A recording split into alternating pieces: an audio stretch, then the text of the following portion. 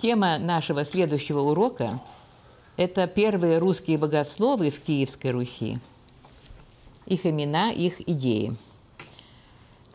Но прежде чем говорить о русских богословах, вот э, я хочу сразу положить два разных основания.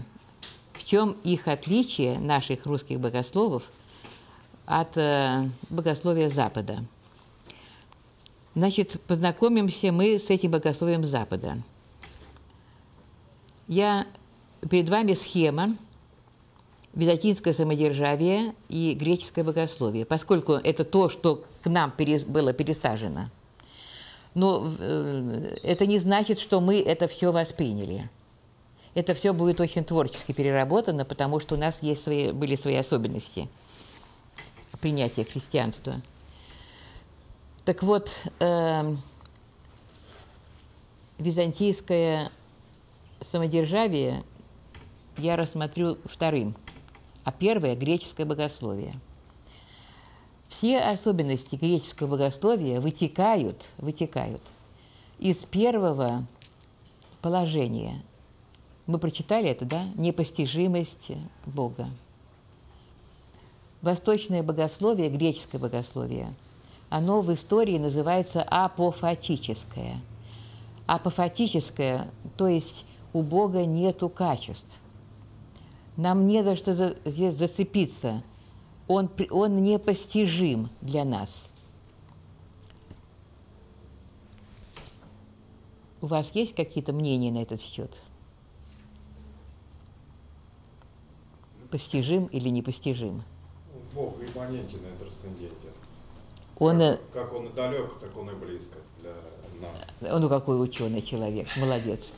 Вы понимаете, в чем дело? Конечно, непостижим, если бы он нам себя не открывал. Есть у нас книга Библия, которая есть откровение Божье. Бог нам сообщает вещи, которые мы сами по себе, мы никак не можем знать. Например, он сообщает о первородном грехе. Как мы могли бы знать об этом? О полной погибшести человека. Как бы мы могли об этом знать? Понимаете как? Затем еще Бог дает обетование. Наша вся жизнь христианская идет в соответствии с обетованиями. Он обещал нас не оставить, Он обещал нас слышать. Э, в Библии говорят около трех тысяч таких обетований. Хорошо нам их выписывать, заучивать, стоять на них, брать их, съедать их, стоять на них. Ты так сказал. Бог говорит, я не человек, чтобы мне врать. Поэтому обетование. И потом еще, что делает Господь? Он э, не столько ублажает нас, давая нам все для нашего удовольствия, но Он э, нас наполняет силой – у нас маленькая вера, и он большой силой своей эту веру поддерживает. Это удивительная вещь. Он нас ставит на ноги, чтобы мы могли сами идти и делать то, что Он нас, нам повелит. Понимаете, какая удивительная вещь? Поэтому вот относительно непостижимости Бога, как это понималось вот в греческом богословии, из этого вытекают все особенность этого богословия. Почему дальше идет мистическая обрядность? Мистическая обрядность, то есть э, считается, что каким-то образом все-таки мы доводим до Бога свои мысли, и Он доводит до нас свои мысли. Это через мистическую обрядность. Почему?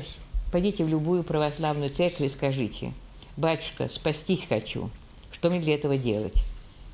Я посылала студента одного. Он просто не поверил мне, что тебе не скажут этого пути спасения.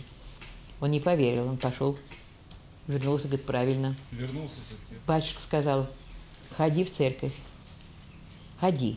Мистически на тебя будет действовать музыка, пение, запахи, облачение, движение, что-то там снять, что-то взять, что-то перенести, что-то переложить, что-то, понимаете, мистическое. И все это имеет мистическое такое значение. И э, ты ходи, ты, главное, ходи, и, и под этим влиянием будь. Дальше в этом богословии очень много взято от Ветхого, Ветхого Завета. Ведь э, в первой христианской церкви там не было иерархии в смысле превознесения одного класса людей над другим. Иерархия, когда не равны люди. Ну, в наших церквах есть пресвитеры, есть диаконы, но они не являются лучшими верующими, высшими верующими. Понимаете ли? Иерархия – это не есть порядок в церкви, а это возвышение. Это то, что называется клир и мир. Есть священники, которые ближе к Богу, и есть мир, которые вот э, там уж плетутся где-то. Поэтому иерархия как это раньше было в народе израильском, когда были священники, они были отделены от народа, они были другие, чем народ. Детокрещенство – это идет из Ветхого Завета по аналогии э, с обрезанием. Это введение в церковь, чему подвержен весь народ, все живущие в данном городе, все э, проживающие в этом государстве – все дети, они крещены в церкви, и они входят в церковь, и таким образом они делаются и членами государства. Поэтому детокрещенство – это основа вот этой церкви. Храм – это Дом Божий. Это по Ветхому Завету. Вы помните, Соломон, когда построил храм, он сказал, ты будешь пребыв... услышь на этом месте, когда народ придет к тебе. Мы на этом месте мы помолимся тебе, ты услышь нас. То есть не, не в любом месте ты помолишься, а ты в этом храме помолишься. И это э, дом, где живет Бог. И Бог это подчеркивал. Помните, облако наполняло дом, да? Законничество. Дан закон, который надо исполнять. И вот э, такое законничество характерная черта была. Затем элементы язычества. Они остались и они вошли все в это богословие. Ну, например, молитва за умерших. Нам э, Библия запрещает общаться с умершими. Вы знаете об этом, да? Конечно. Библия запрещает общаться с умершими. Молитва за умерших. Нельзя ни за них молиться, ни им молиться. Э, открытое принадлежит человеку, сокрытое у Бога. И сказано, Дух идет к Богу, который дал его – это не твоя компетенция уже, и ты туда вмешиваться никак не можешь. И общаться с умершими – это, я хочу сказать вам, это даже не просто язычество, а это Вавилон. Помните, Вавилонскую башню строили, чтобы достигнуть неба, чтобы ключи могущества, ключи могущества взять. Э, элементы язычества – поклонение святым, поклонение иконам – поклонение мощам.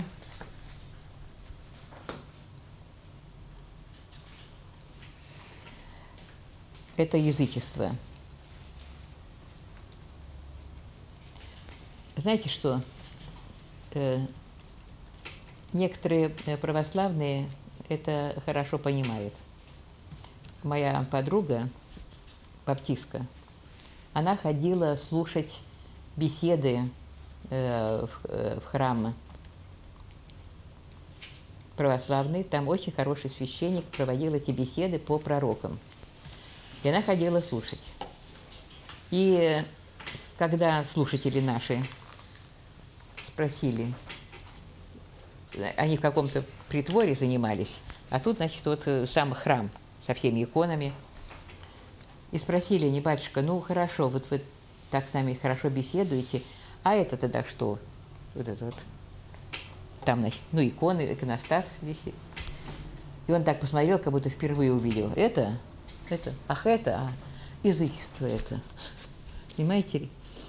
То есть даже сам так вот определил. Но будучи образованным человеком, он прекрасно читал лекции по пророкам. И затем понимание спасения – Слушайте, в греческой церкви и в римской церкви было воспринято правильное учение о Боге. Это то, что вы изучали по патристике. Учение о Боге, что Христос есть Бог, да? Что Христос есть человек. И что сто процентов это Бог, сто процентов это человек. Таким образом, э, правильное учение о Боге было воспринято. А что не было воспринято? Не было воспринято учение Бога о спасении. И это будет воспринято, знаете, когда только?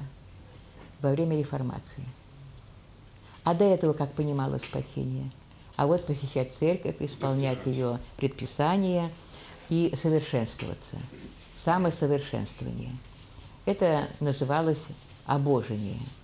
Причем это, понимаете ли, это воспринималось даже физически. Вот ты присутствуй и открой свое сердце, и вот так вот откройся действию музыки, запаха, обстановки, этих э, ликов э, красивых э, на стенах. И вот у тебя происходит вот это совершенствование. Ну и, конечно, работа над собой, над своим характером, самосовершенствование. Вот это, как мы восприняли, будем, мы это увидим, как было воспринято в России. Нам не безразлична современная церковь, и у нас есть, что ей предложить. Поддержите наш проект молитвой и финансами. Информацию, о чем молиться и как пожертвовать, вы можете найти на сайте www.tvseminary.com. Теперь самодержавие византийское. Оно имело черты, которые мы очень замечательно все восприняли, я имею в виду государство – Трансцендентность власти. Слово трансцендентный. Это понятно слово или нет? Превосходящее э, чувственное, превосходящее разум. Э, трансцендентность – это качество Божье. Превосходит материальные, разумные, чувственные. Так вот, трансцендентность власти. Что власть от Бога. Вы знаете, что на Западе, я вам говорила, была власть папы – но была власть этих вот э, королей, которые захватили разные части Римской империи. Э, в, на востоке, в Византии, э, Константин воспринимал себя императором, что это Бог его сделал таковым. И так потом и пошло. Ведь церковь получит свободу от, от Константина. И поэтому все, что Константин будет делать, это будет как бы Бог через него делает. Теократия. То есть правление царя, самодержца, самодержавие – это управление Бога через него. Отсюда получаются нам хорошо знакомые вещи. Прочитали дальше?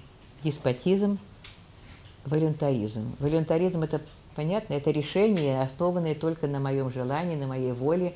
Сделаем вот так – вы знаете, что я большим интересом сейчас вот предвыборные читаю все эти речи, э, особенно экономистов, которые рассказывают по, по экономике, как, э, как-то Пушкин писал, как, э, чем государство богатеет и как живет, и почему не надо золото ему, когда простой продукт имеет. Вот так Евгений Онегин Пушкин писал рассуждают э, роль налогов, какими они должны быть, как, э, как это рычаги, это же экономика, налоги, деньги, это рычаги, которые могут в ту сторону э, деньги вести или в эту сторону деньги вести. А здесь волюнтаризм.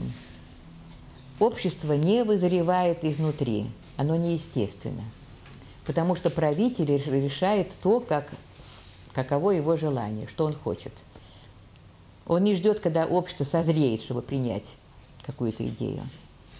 Неестественное общество. Поэтому бюрократия оторванная от жизни. Вы понимаете ли, мы, это то, что к нам пересажено. И если в области богословия у нас будут свои варианты, то э, схему, систему вот, э, государственную, она у нас просто пересаженная. Бюрократия, оторванная от жизни, чиновники. Бюрократия, чиновники. И потом еще родовое чувство, нет личной ответственности. Но это такая глубокая и хитрая вещь. Вы понимаете ли, очень долгие годы, очень долгие годы, это э, особенно в России, Россия жила миром, мир, колхозом, мы все. И поэтому все виноваты или все, наоборот, правы. От личной ответственности нету. Ну, естественно, нету, если есть волюнтаризм. Боязнь человеческого фактора. Человеческий фактор – Как интересно вы понимаете это слово, человеческий фактор? Как вы могли бы его объяснить? Ну, наверное, боязнь быть личностью, самостоятельно мыслить, самостоятельно делать, Да, это, это мы говорим родовой, это нет личной ответственности. А боязнь человеческого фактора – это власти боятся человеческого фактора. Вы знаете что? Ну, примеры. Примеры, когда э, нужно строить что-то государственного значения, и надо сносить дома людишек, которые тут, тут живут, ока- оказались тут живущими. И это вызывает какую-то боязнь и отрицательную оценку, что люди-то протестуют. Они не согласны отсюда переезжать. Это их жилье наследственное. Ну вот э, приходится в газетах читать об этом. Э, И правительство боится этого человеческого фактора, что какому-то человеку может быть неудобно, плохо то, что решает правительство. Понимаете меня, да? Так вот, не должно быть этого. Уберите его куда-нибудь, чтобы его не было. Боязнь, это идет издалека, из Византии это идет. И понимаете, все проникающий аскетизм. Ну, у нас это выражается так. Жила бы страна родная, и нету других забот. То есть э, для меня, я сам, я, э, я ноль тут. Единица вздор, единица ноль. И ты можешь и, и поезд туго подтянуть, и протестовать не пойдешь, и, понимаете ли, все проникающий аскетизм. То есть ты всеми должен жертвовать, отказываться, служить, вот так вот.